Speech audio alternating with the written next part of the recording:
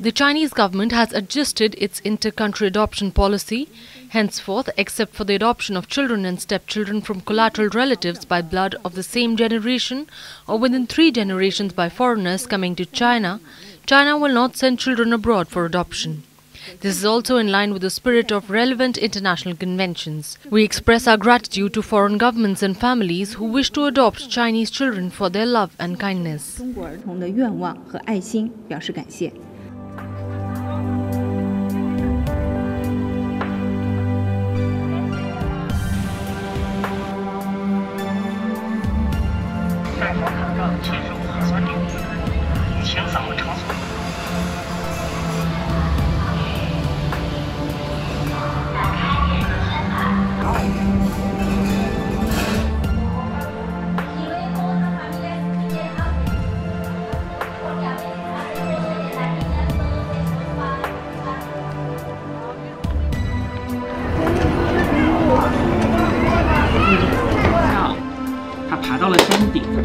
做不到的。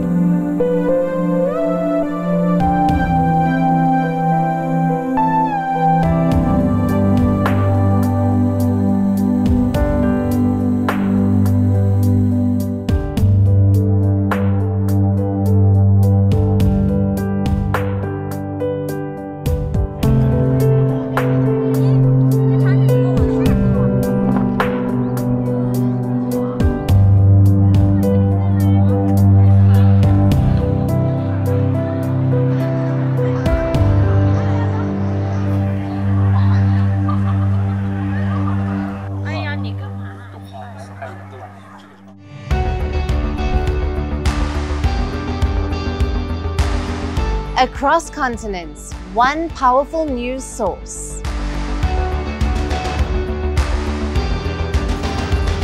bringing you diverse perspectives on the issues that matter.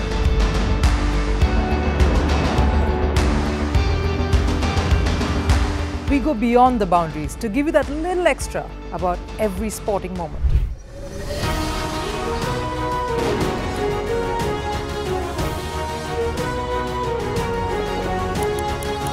So thank you for making First Post 5 million strong. We're counting on your support and you can trust us to bring you the news unfiltered and unvarnished.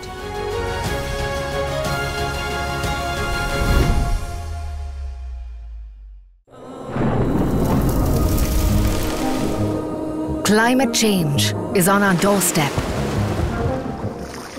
It's time for a revolution to take root. And it starts with 1.4 billion Indians. It starts with one tree. One tree for humanity. One tree for Mother Earth. One tree for our future. Project One Tree, a News 18 network initiative.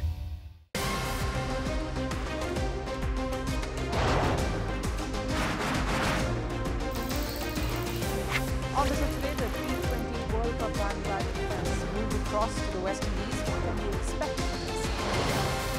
Hello, I'm Alison Green, coming to you from Durban, South Africa. Today we have a special show.